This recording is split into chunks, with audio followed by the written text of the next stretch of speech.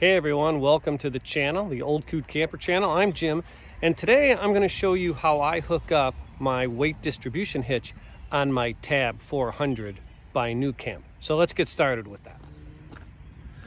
All right, so there are essentially three pieces to a weight distribution hitch, and obviously the first is the hitch in the ball mount. This is mine. I have a Fastway uh, E2 hitch rated for 400 to 600 pounds of tongue weight. The reason that is so big is because my 2019 Tab 400 has a tongue weight of 465 pounds. Even though that is a relatively small camper, the tongue weight on there is pretty high for that. Now, the one thing I want you to notice, there are a number of adjustments on here. One is to adjust the height, you can see that. The other thing, and it's a little bit hard to see on the video, I think, is that this ball right here has an adjustment underneath. I don't know if you can see that bolt right there that comes out from underneath. Well, behind that bolt are washers.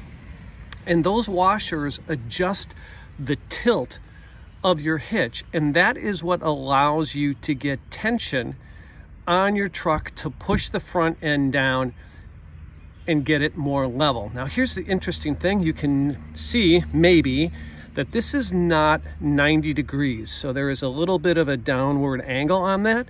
And that's part of the adjustment you need to make in order to get your weight distribution hitch set appropriately. So the other piece of equipment that we have are the trunnion bars. This is a trunnion style weight distribution hitch. You have a chain style as well. These are solid bars. They weigh, I don't know, I would guess around 25 pounds a piece, so they are not light. They fit into this receiver here, and then they rest on this friction bar. And the combination of those things allow downward pressure on the front of your tow vehicle in order to get your tow vehicle level when you're towing. So what you see right here is the mounting bracket. First of all, because the tongue weight on the Tab 400 is 465 pounds, I had to go with the 400 to 600 pound version of the weight distribution hitch. And the bigger the, the weight distribution hitch, the farther back you have to have the mounting bracket. Well, that's a problem because as you can see, the mounting bracket went above the frame right here. And that meant my tub did not fit appropriately. Or in other words, I couldn't put the mounting brackets on without doing something with the tub. What I ended up having to do, I don't know if you can see this, these are aluminum square pipes. I had to actually raise the tub in order for the mounting brackets to fit. The other thing, quite frankly, is at the time, this was back in 2019, nuCamp was not giving a lot of advice on weight distribution hitches. And you'll notice that this is a bolt-on distribution hitch. Well, later they came out and said probably not the best idea for a Tab 400. And the reason is if you look at the frame, see how this is indented here? It's not a full solid frame. It's called a C-channel frame.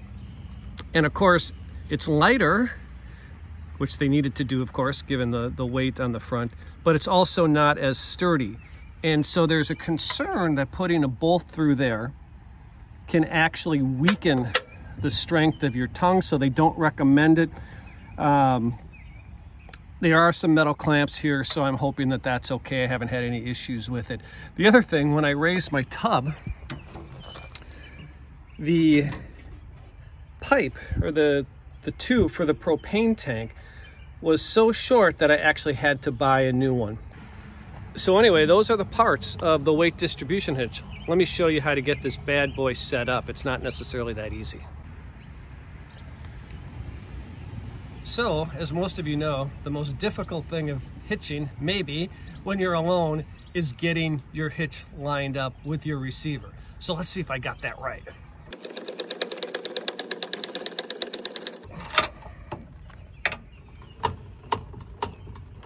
Okay, so not surprisingly, it's not perfect. Um, so what I'm gonna do is I'm gonna raise this, let that weight go down And I'm just gonna start the car up, tow vehicle up, and uh, see if I can't pop that into place by putting it in neutral or maybe um, pulling forward just a hair. Let's see if this works.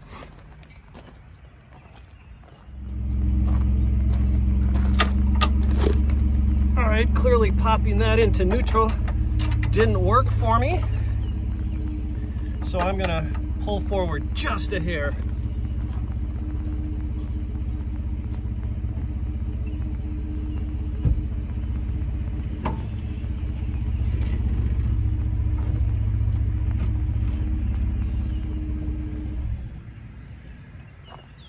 All right, did that pop in? Yes, it did.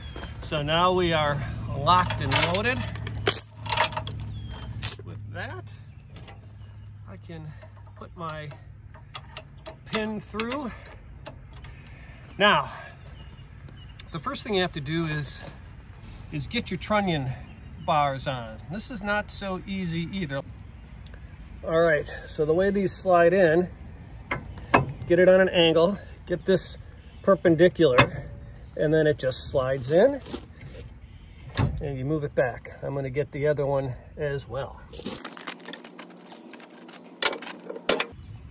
So now if you think you're done and you can simply slide that on, you'll notice that that is not the case. So what you have to do is you have to re-raise your hitch with it attached so you can get this to release pressure so you can actually lift this up and get it over this. There's actually a tool you can use to do that and I'll show you how that is, or how that works. So as I'm raising this, pressure is being exerted on the top as I'm raising it, but it's going to allow me to lift this bar into place.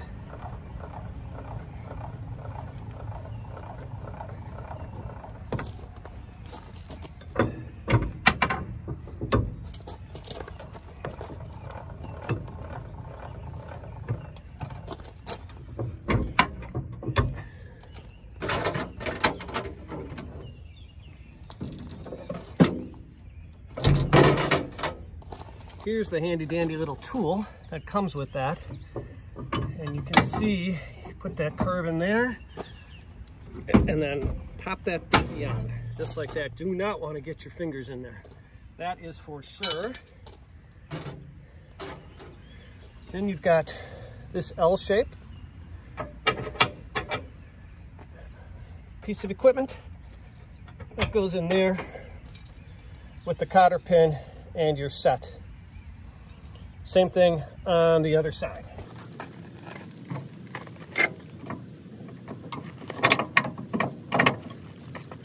That one went in a little easier. For some reason, the passenger side always goes in easier than the driver's side.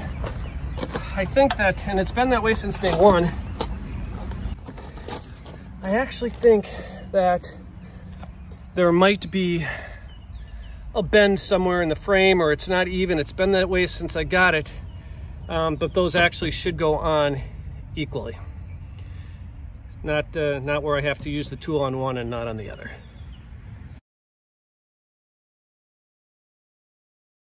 The first thing you got to do when you take off your weight distribution hitches, as you might imagine, is you got to raise your hitch quite a bit.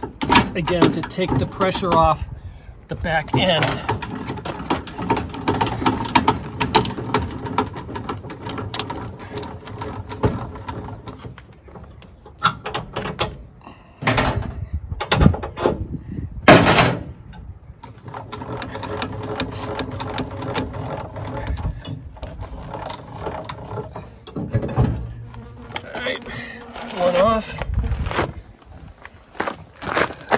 Let's see if we can get this one off. No, it's still really tight.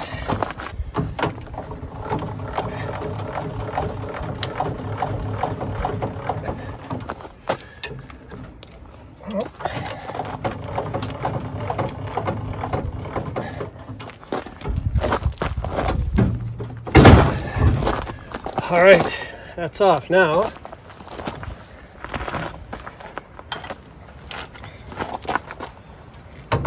Release these. All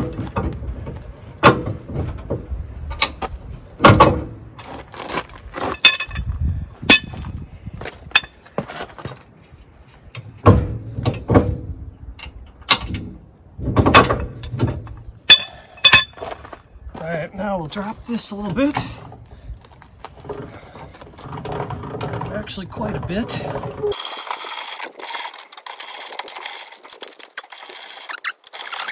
Once again, I had a uh, significant issue unhitching, and uh, seems to be a lot of pressure on that ball the way that uh, hitch is angled.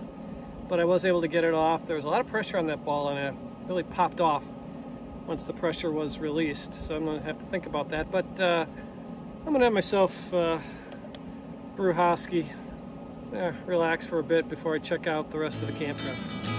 Cheers, everyone.